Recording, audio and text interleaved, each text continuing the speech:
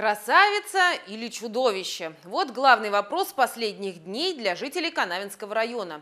Задают они его, глядя на живую елку, которую поставили на Волжской набережной. Ее объемы и параметры вызывают некоторое подозрение.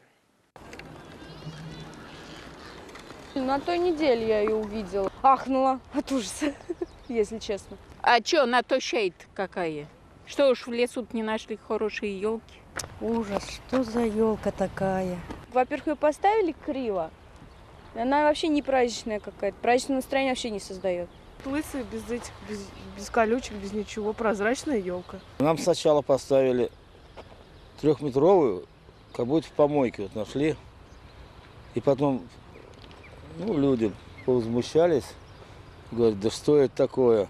И они через две недели, видать, раз ночью, другой. А была вот обрубыш, ну, вообще как будто Так была хуже это еще. в два раза, вы что? Здесь детей очень много гуляют, очень много гуляют. И все праздники собираются здесь, выходные здесь. А радости тут мало. За что обидели? Это надо спросить тех, кто ставил. Это, наверное, их кто-то обидел. А они, в свою очередь, жители.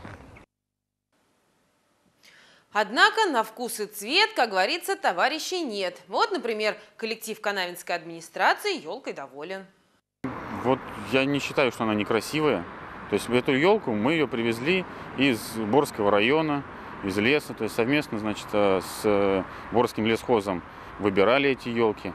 То есть э, нормальная елка, почему она не нравится? Остальные еще хуже были. Ну, это, была, да, это были самые лучшие елки, вот, которые мы все-таки выбрали там, да. Она всем понравилась. Ну, на- нам она понравилась, по крайней мере. Да, тем, кто занимался нас этим вопросом, елка самые лучшие выбирали. Сейчас, наверное, просто напряженка с елками в лесу уже в целом.